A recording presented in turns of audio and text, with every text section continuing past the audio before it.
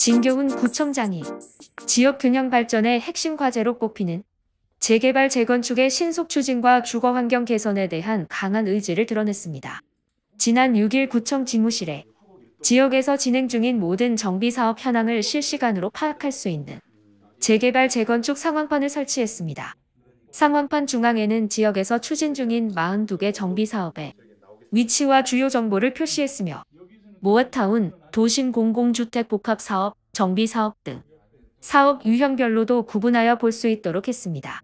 뿐만 아니라 해당 사업을 선택하면 사업 면적과 규모, 공급 계획, 진행 상황 등 정비 사업별 세부 정보도 확인이 가능합니다.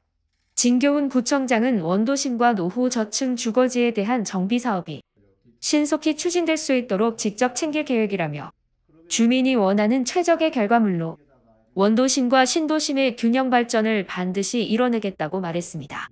한편 주택 정비 사업은 고도 제한 완화 등 다양한 수건 사업들과 맞물려 있는 복합적인 사업인 만큼 직원 누구나 재개발 재건축 추진 현황을 확인할 수 있도록 내부 행정망에 공유할 계획입니다.